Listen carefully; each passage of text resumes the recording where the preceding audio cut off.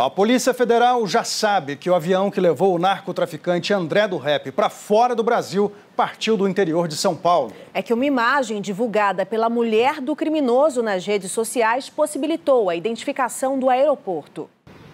O assunto é um dos mais comentados no país desde sábado de manhã, quando o narcotraficante André Oliveira Macedo, o André do Rep, deixou a prisão de segurança máxima de Presidente Venceslau, interior paulista, pela porta da frente.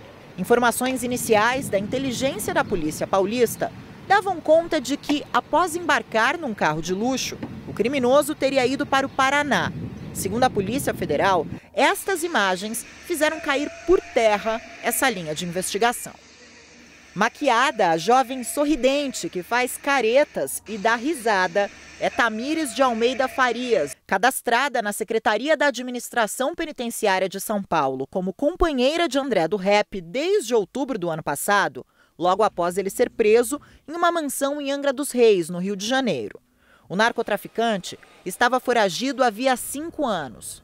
O vídeo, de acordo com a Polícia Federal, foi gravado em um aeroporto no estado de São Paulo e publicado em uma rede social de Tamires, onde ela usa um nome falso. Na última foto publicada por Tamires, no dia em que André do Rep fugiu, ela diz que a fé na vitória tem de ser inabalável. A Polícia Federal não divulgou a cidade paulista onde fica o aeroporto para não atrapalhar as investigações. No vídeo, é possível ver dois caminhões de reabastecimento de aeronaves. André do Rep saiu de São Paulo por um aeroporto pequeno e legalizado no interior do estado. Os esforços da Polícia Federal estão concentrados agora na tentativa de rastrear voos que partiram da região com destino a países da América Latina no último fim de semana. A ANAC, Agência Nacional da Aviação Civil, e a FAB, Força Aérea Brasileira, foram chamadas para ajudar na investigação.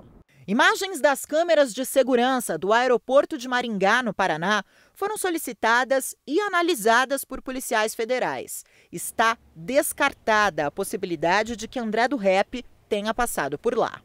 A suspeita principal é de que o narcotraficante esteja na Bolívia, onde mantém contato estreito com fornecedores de cocaína. Foi nesse país que outro chefe do PCC, Gilberto Aparecido dos Santos, o Fuminho, ficou durante 20 anos foragido, comandando atividades internacionais da facção criminosa. Conforme o jornalismo do SBT adiantou, havia três meses que André do Rep dizia para outros presos que sabia que deixaria a cadeia em breve. O narcotraficante também é procurado pela Interpol.